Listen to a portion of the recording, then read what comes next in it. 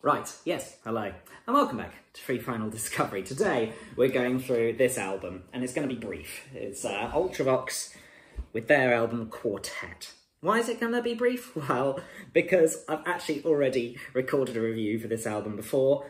I accidentally deleted the original um, film that I made, the, so I am very far removed from having listened to this album. And needless to say, I'm not a big fan of it. Ultravox, they uh, came out of the door with their uh, big hitter Vienna, which was the most commercially successful song to be released in the UK that only reached number two in the charts. It was beaten out by Shut Up Your Face, which is a song that's worth checking out for its own reasons. this album is not worth really checking out. In the physical form, it's kind of got a marking here, uh, a little bit of tearing that's happened in the album, and the design is a, leads a lot to be desired. Um, as far as the songs, not a fan. Um, Reap the Wild Wind is okay. The chorus gets on my nerves though.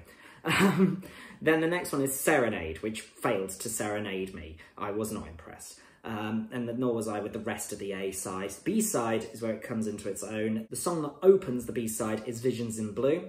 I've overplayed it a bit now, but I did really like it for a little while there. Thought it was really good, but actually, going back, I'm not so much of a fan now, but gotta give it merit. It did get my attention on the first listen. So if you're gonna check out anything from this album, it's gonna be that song. Because it's not gonna be the rest of them on that side either. Uh, I think there was one song that I kind of liked on that. Um, but not enough to actually remember it. This is another Chrysalis record, but it's not tempting me to go into the research that I did promise about Chrysalis records. I know it's a portmanteau of the two names of the founders. Um, I can't remember what they are though. Uh, one of them was called Chris, and the other one, his surname was Ellis. Do your own research, really. This isn't, that's not what this channel's about. This isn't highbrow entertainment. This is me going through a pile of records I didn't choose and just giving vague opinions on it. And this one certainly is vague. Last week you had Billy Idol, which was a little bit more nuanced because I did listen to that album quite a bit. I've listened to this album twice and this is all you've got. uh, maybe the first time I filmed this it was a little bit more worth watching. There's a reason why we're in single and double digits on this channel. I know that. Uh, it's really, this is for me just to catalogue the experience and I'm really pleased that a few of you are joining me along the way and I'm really grateful for the attention that you're giving. Don't give this your attention. You're worth more than that.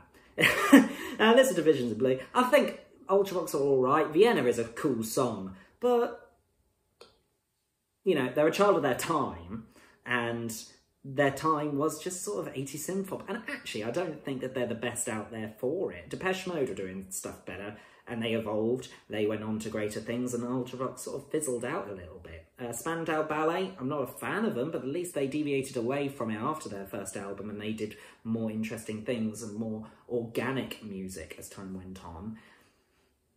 I can't say the same for Ultravox. Shout outs to a long-time viewer of the channel, Murdock of Murdock's Music Minute, who also reviews this album on his channel. So if you want another opinion, a second opinion on this, go and check him out. I'll put the link in the description below, but you can find him at the bottom of all my comments. He's, he's the guy. He also gives more um, nuanced opinions on things than I do. I've always been famous for, or infamous probably for just saying I like this or I don't like this. It is what it is at the end of the day. We're about two thirds of the way through the dive at this point. Things aren't going to change, but you know, stick around. There's going to be some weird and wacky albums to come. Ones that I've suppressed at the bottom of the pile for as long as I could. This was one of them, I'm not going to lie. Tried to tempt Tom to listen to it and he was like, eh, mm, no. So here I am alone again, naturally. Thank you very much for watching, and I'll see you again next week.